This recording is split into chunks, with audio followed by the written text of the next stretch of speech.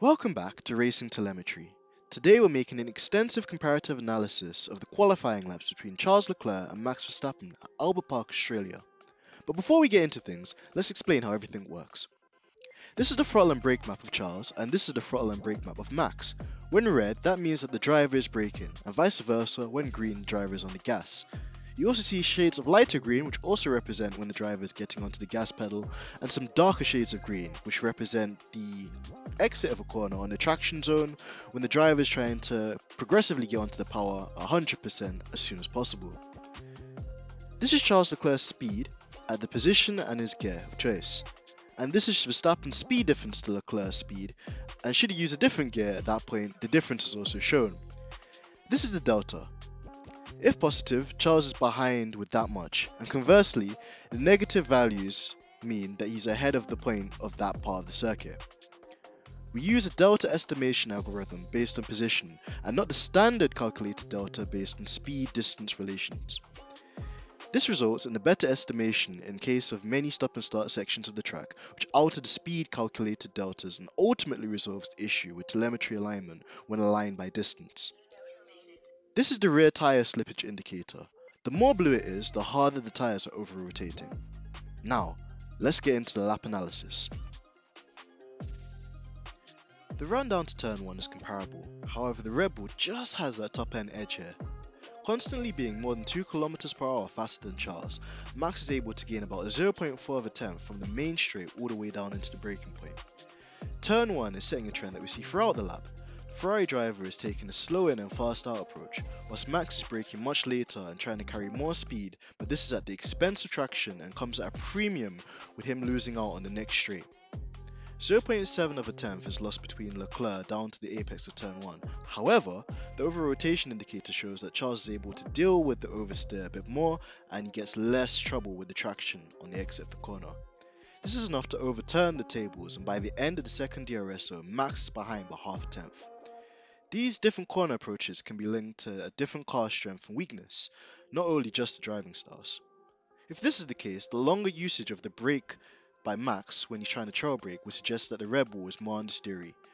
That is overlapping with the footage that we saw with the Red Bull washing out at turn 1.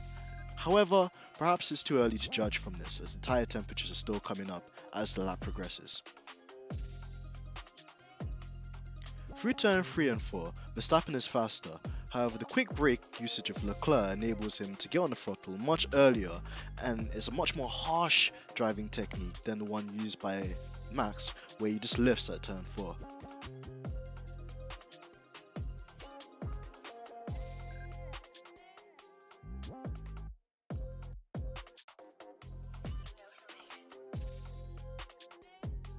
Ferrari has the edge all the way up to turn 6 resulting in a 1.4 tenth time gain just before the braking zone. Once again, slow in and fast out approach by Charles compared to Max carries more speed into the apex of turn 6. This time, Max is able to gain some of the time back and recuperate it, although it did seem like he had a bit of a snap or over rotation problem on the left of turn 7. The drag race up to turn 9 is won by the Ferrari with its great low end power unit punch. However, the top end of the Red Bull is much more stronger, and perhaps this also suggests that Charles was suffering from a bit of harvesting or clipping.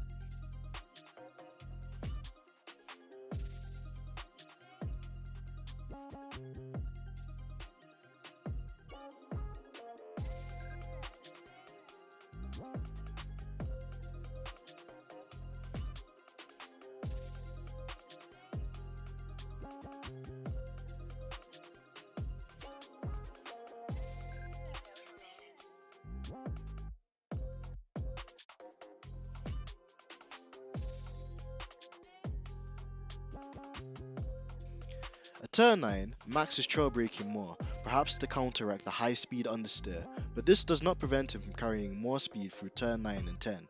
The net gain is 0.9 of a tenth. Another interesting thing here is that Max is using a lower gear for turn 10, which can also be maybe a technique that the Red Bulls are using as they have much more longer gears, but this is often a technique used to also rotate the car much better and precisely.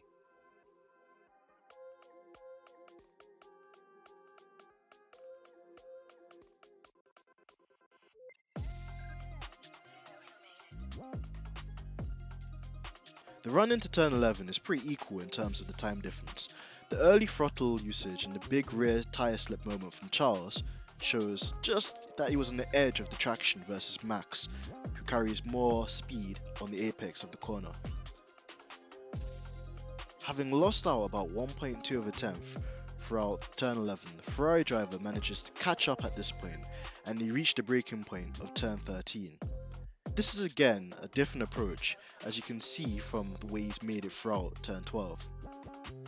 Leclerc uses the brake while Max is lifting which costs him a bit of minimum speed on the run of turn 13.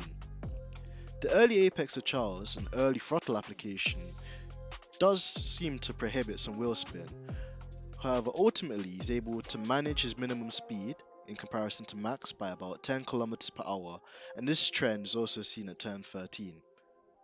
Ultimately, Charles gains all the advantage from the previous turn 13 and he carries it all the way to the finishing line.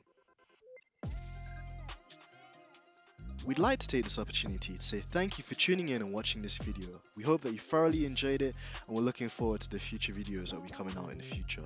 Please make sure that you subscribe and leave suggestions as to what comparison you'd like to see next. Until next time, we'll catch you soon.